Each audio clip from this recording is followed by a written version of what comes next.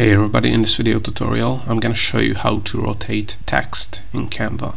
Alright, so if you want to rotate text in Canva, it's really easy to do. All you have to do is open up the design editing interface in Canva and once you have any text, when you select it you're gonna be able to rotate the text. So as you can see next to the move button or move icon you can also see this rotate icon and if you click on this and hold it down you can see that you can rotate the text to left and right as well one more thing you have to note is that if you want to rotate the specific text with other elements on the Canva page, then you have to select those elements as well.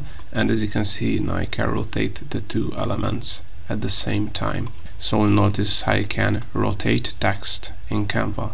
Hope you found this tutorial useful. If you want to get access to our Make Money with Canva checklist for free, where we reveal a ton of ways how you can make money with Canva and get other free Canva online marketing and AI resources, make sure to check out the links in the description below, where you can also sign up for Canva Pro for 14 days for free. Also, if you want to learn more about how to use Canva, make sure to check out our YouTube channel and playlist because we have over a thousand free tutorials. And also make sure to subscribe because we have more Canva tutorials coming up.